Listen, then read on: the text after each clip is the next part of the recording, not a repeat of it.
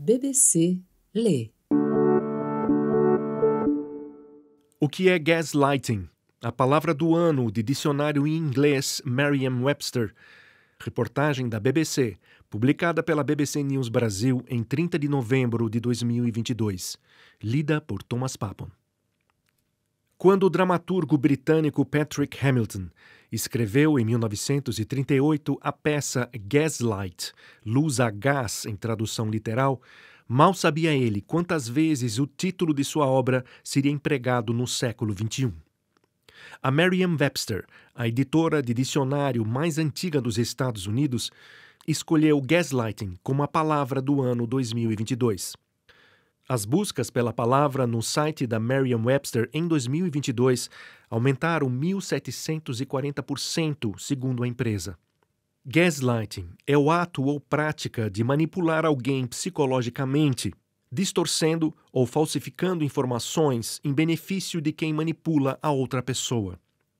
Nesta era de desinformação, de notícias falsas, teorias da conspiração, trolls do Twitter e deepfakes, gaslighting surgiu como uma palavra para o nosso tempo, disse a Merriam-Webster em um comunicado no fim do ano.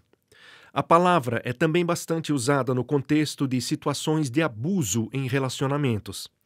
Curiosamente, o interesse de pesquisa na palavra não foi impulsionado por nenhum evento específico, disse um editor da Merriam-Webster à agência de notícias Associated Press.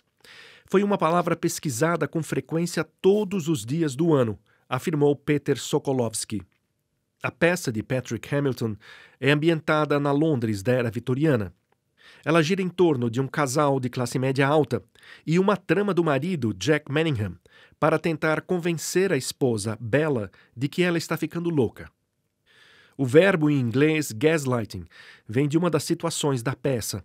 O marido rebate a constatação de Bella de que a luz a gás da casa está ficando mais fraca. Ele diz que tudo é fruto da imaginação dela. A peça foi adaptada duas vezes para o cinema, no Reino Unido em 1940 e depois nos Estados Unidos em 1944.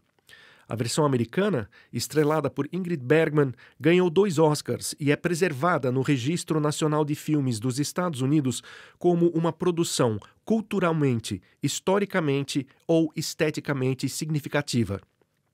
A Merriam-Webster diz que o termo se refere principalmente à manipulação psicológica, mas o seu uso hoje em dia é impulsionado pelo grande aumento de canais e tecnologias usadas para enganar as pessoas, especialmente em contextos pessoais e políticos.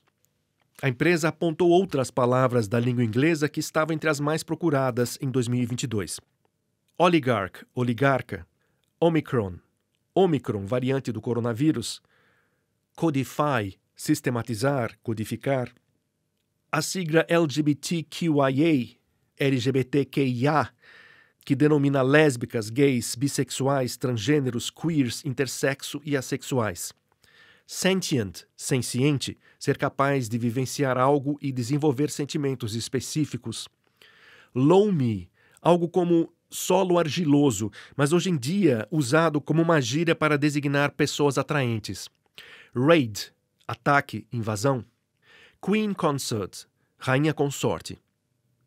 Você ouviu a reportagem O que é gaslighting? A palavra do ano de dicionário em inglês Merriam-Webster, publicada pela BBC News Brasil em 30 de novembro de 2022.